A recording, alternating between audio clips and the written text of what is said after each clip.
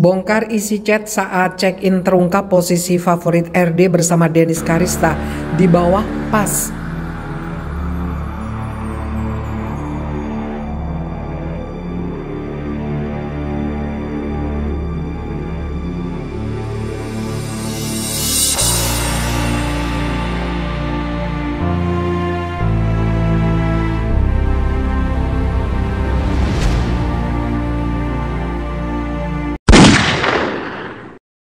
Dapur berita artis terkini.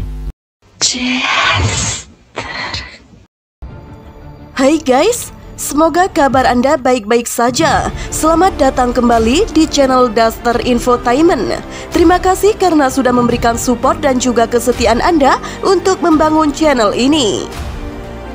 Banyak hal yang sudah Denis Karista bongkar perihal isu perselingkuhan dirinya selama 4 tahun belakangan, mulai dari pemberian barang, Denis Karista juga sudah umbar masalah hubungan di atas ranjang dengan selingkuhannya itu. Menyeret nama Ayu Dewi, suaminya diduga sebagai RD, sosok yang berselingkuh dengan Denis Karista. Belum lama ini, Denis Karista turut membuka isi chat percakapan dengan sosok RD yang disinyalir sebagai Regidato. Terlihat jelas alur dia dan RD ketika melakukan check-in di sebuah hotel di kawasan Jakarta Selatan. Salah satunya adalah posisi favorit titik janjian RD dengan Denis Karista ketika sudah di dalam hotel.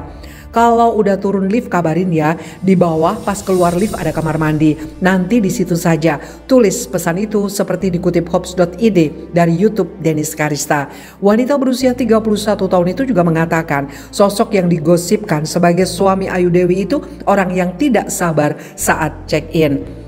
Lihat nih, belum ada semenit dia udah WA gue lagi. Hampir tiap menit nanya ucapnya. Belum ya, udah mati gayanya nih aku di lobi takut ketemu orang. Kata RD, dalam salah satu pesan di WA. Dia juga membocorkan bahwa RD yang kabarnya adalah Regidato selalu datang bersama temannya. Kalau datang dia pasti bawa teman. Jadi pura-pura meeting gitu, temannya mah nanti ditinggal ungkapnya. Kasus check-in Denis Karista dengan RD juga sempat ramai karena dikaitkan dengan tagihan hutang Uya Kuya. Uya Kuya diminta menagih RD karena diakui punya hutang saat check-in ketika dibayarkan oleh Denis Karista.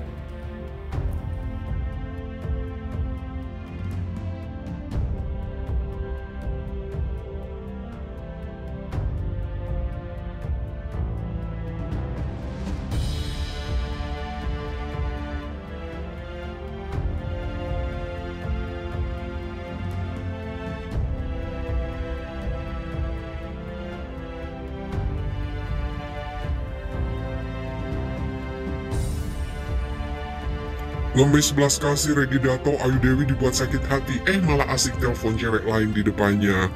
Presenter cantik Ayu Dewi pernah membagikan kisah pahitnya saat menembak cinta pria yang kini menjadi suaminya Regidato.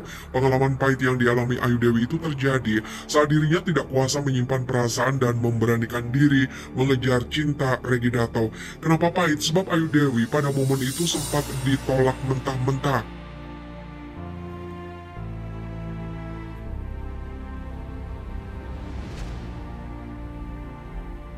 oleh Regidato di sebuah kafe. Cerita itu pernah disampaikan Ayu Dewi ketika berbincang seputar banyak hal mengenai sisi kehidupan masa lalunya dengan Luna Maya.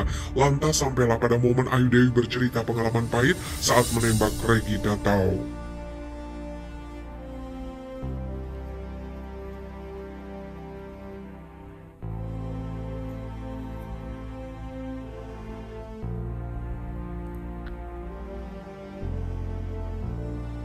Saat itu, kata Ayu Dewi, dirinya sudah mantap untuk menyatakan perasaannya kepada pria pengusaha itu.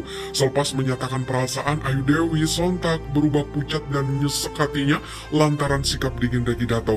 Bahkan Regi Dato malah membalasnya dengan menelpon seorang perempuan di hadapan Ayu Dewi. Karena pengalaman itu, sontak Ayu Dewi memberi nasihat kepada kaum hawa agar jangan sembarangan menyatakan perasaannya duluan kepada pria. Buat cewek-cewek kalau belum yakin banget siapa yang mau dituju, terus kira-kira ini orang belum dapat gitu, nggak usah sok-sok nembak. Ungkap Ayu Dewi dikutip Pops.id dari kanal YouTube Luna Maya. Dalam pendapat Ayu Dewi, sebaiknya para kaum hawa menyimpannya saja bila sedang mencintai seseorang pria dan cukup memberikan kode bila tidak tahan ingin mengungkapkannya. Cowok itu orangnya eksak cowok itu makhluk paling logis. Jadi nggak usah dulu gini. Gue abis ketemu sama cowok kemarin tapi dia janji. Ntar mau telepon terus dia nggak telepon nih. Tunggu sampai tiga hari lima hari. Kata Ayu Dewi pada Luna Maya. Kemudian dari pernikahannya Ayu Dewi dan Regi Dato dikaruniai tiga anak yang sekarang ini mulai tumbuh remaja dan anak-anak.